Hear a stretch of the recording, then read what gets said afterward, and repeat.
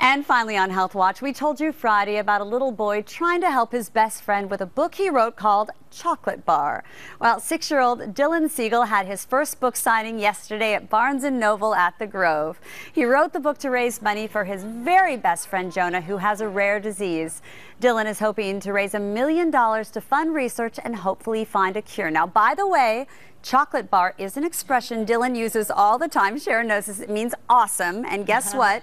It was a packed house, and the boys raised five thousand dollars at the book signing right to on. Dylan and Jonah. That is so awesome, and by that. I mean, so chocolate. Mm, so chocolate. So chocolate. So chocolate. So chocolate bar. All right, and a little hobbit.